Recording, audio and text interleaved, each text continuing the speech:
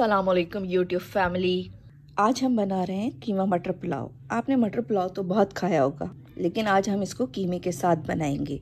ये बहुत टेस्टी बनता है और इसको बनाने का तरीका भी बहुत आसान है। आज मैं आपको चावल को किस तरह से खिला खिलाया बनाया जा सकता है वो भी बताऊँगी। पुलाव में कोशिश करें कि अच्छी क्वालिटी का बासमती चावल इस्तेमाल करें। मैं यहाँ ग्यारह इक्कीस नंबर का बासमती चावल इस्तेमाल कर रही हूँ। चलें तो अब हम शुरू करते हैं। बिस्मिल्लाहिर्रहमानिर्रहीम। सबसे पहले छः कप चावल को 30 से 45 मिनट के लिए भिगो दें अब हम एक बड़ा पतीला लेंगे, जिसके अंदर हमारे छः कप चावल पक सकें। इसके अंदर हम ढाई कप तेल डालेंगे। अब हमारा तेल गर्म हो गया इसमें एक बड़े साइज़ की प्याज स्लाइस करके शामिल करेंगे।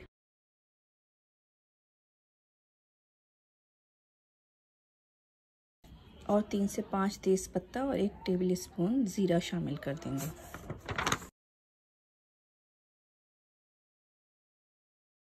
अब हमारी प्याज ब्राउन हो चुकी है। अब इसमें दो टेबल स्पून अदरक लहसुन का पेस्ट एक पाव कीमा डाल देंगे। कीमा आपका चिकन का भी हो सकता है, बीफ का भी ले सकती हैं आप और मटन भी यूज़ कर सकती हैं। अच्छा मेरे पास कीमा फ्रोज़न है, इसलिए मैं इसके साथ क्वार्टर कप पानी भी ऐड करूँगी और इसको कवर करके 10 मिनट पकाऊँगी। अगर आपका कीमा फ्रोज़न नहीं है तो आपको पानी डालने की ज़रूरत नहीं।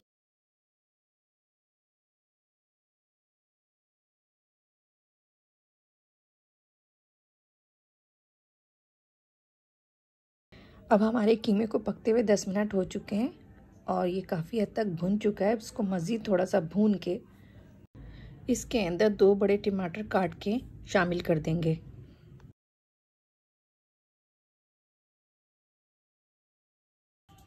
दस हरी मिर्च काट कर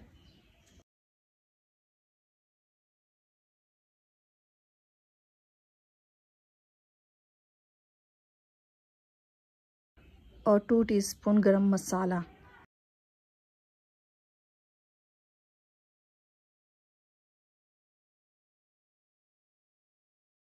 और तीन कप मटर।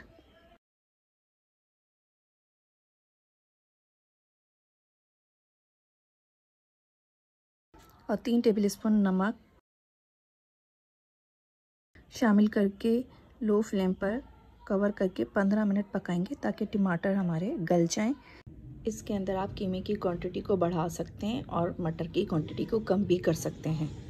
अगर आप चाहें तो आधा किलो कीमा और दो कप मटर भी शामिल कर सकते हैं। हमारे मसाले को पकते हुए 10 मिनट हो चुके हैं, हम इसे एक दफ़ा चेक कर लेते हैं।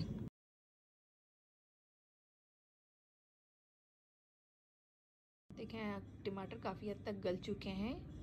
और जो थोड़े बहुत रह गए हैं, उनको थोड़ा सा और पकने देंगे। दो तीन मिनट के लिए तो ये मज़ीद पक जाएँगे।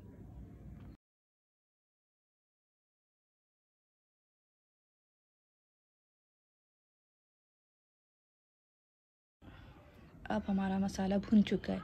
अब इसके अंदर हमें पानी शामिल करना है। जिस कप से आपने चावल मेजर किए थे, उसी कप से पानी को मेजर करना है।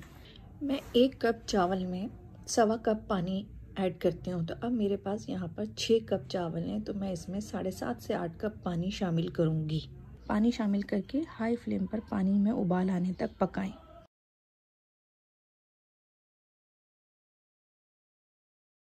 अब उबाल आ चुका है। इसमें अब हम चावल शामिल करेंगे। अब चावल शामिल करके इसको कवर करके हम हाई फ्लेम के ऊपर पकाएँगे।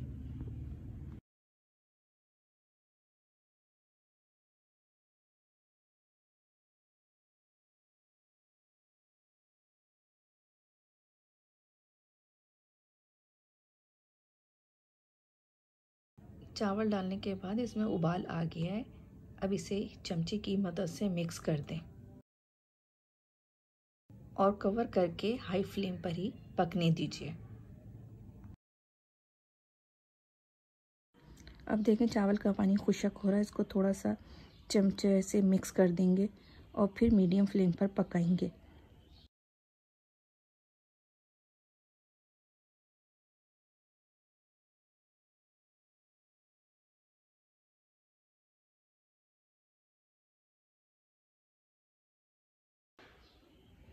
और अब इसमें जर्दे का रंग जो कि दूध के साथ मिक्स किया है, इसको स्प्रिंकल कर देंगे। ये ऑप्शनल है, अगर आप चाहें तो जर्दे का रंग डालें, अगर आपको पसंद नहीं है तो इसको मत डालें।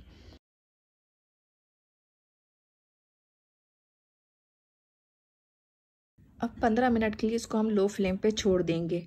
अब आप कोई साफ़ कपड़ा लेके इसको पतीले के ऊपर इस तरह से रखें और इसके ऊपर ढक्कन रख के कवर कर दें।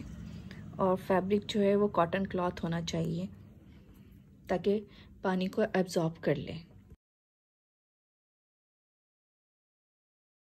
अब हमें कीमा मटर पुलाव को दम पर रखे हुए पंद्रह मिनट हो चुके हैं। इसको हम चेक कर लेते हैं।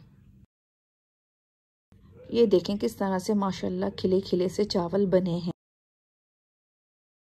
अगर आपको मेरी यानी का चैनल पसंद आया तो उसको शेयर करें सब्सक्राइब करें कमेंट करें। Bye bye